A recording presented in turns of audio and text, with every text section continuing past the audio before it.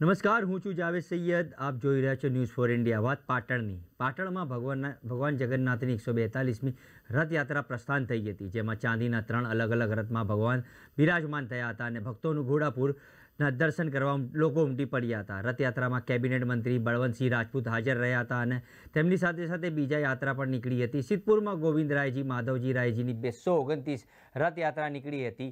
ગામધડી ગોવિન્દ્રરાયજી માધવરાયજી ની 80 કિલોના ચાંદીના રત્મા નગરની પરિક્રમાય નીકળ્યા હતા કેબિનેટ મંત્રી બળવંતસિંહ રાજપૂત અને મંદિરના ટ્રસ્ટીઓ દ્વારા રથયાત્રાનું પ્રસ્થાન કરાવવામાં આવ્યું હતું આદિત્ય જય સહસ્ત્ર બ્રાહ્મણ યુવાનો અને બાળકો પોતાના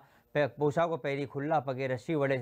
રથને ખેંચીઓ તો સમગ્ર સીતપુર જાણે કે ગોવિન્દ્રરાય રાધે જય રણછોડ માખણ ચોરના ના તિગુંજી ઉઠીયો તો રથયાત્રામાં નગાશી ડંકો ગાડુ મહિલા મંડળ યુવક મંડળ ઊંટ ગાડા શાળાના બાળકો જોડાયા હતા સિદ્ધેશ્વર યુવક મંડળ દ્વારા યાત્રા તેરામાં ભક્તોના માલપુરાનો પ્રસાદ પણ આપવામાં આવ્યો હતો બંને રથયાત્રામાં કેબિનેટ મંત્રી બળવંતસિંહ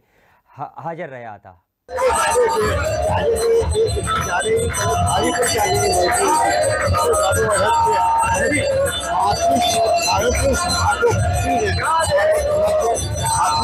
છે સાક્ષી છે અને સાથે ભગવાનની દૃષ્ટિની જાગા પણ છે આ રીતે આપણે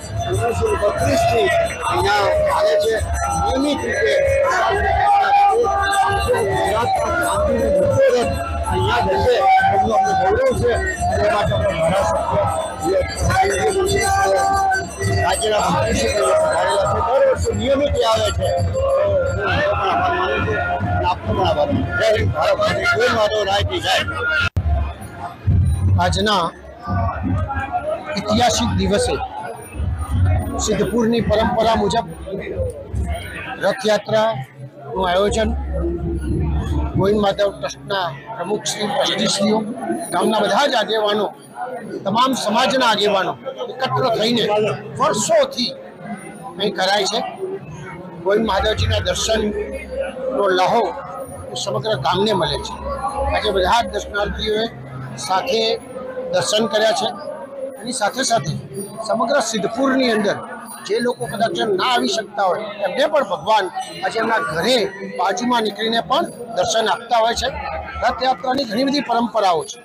એ પરંપરાઓમાં એક આ પરંપરાય છે ભગવાન જ્યારે ઘરે ઘરથી નીકળે ત્યારે અમુક લોકો ચાલી ના શકતા હોય બીજા લોકોને દર્શન કરતા હોય છે આ ઐતિહાસિક મંદિર છે આ પ્રસિદ્ધ પોળો આમ જની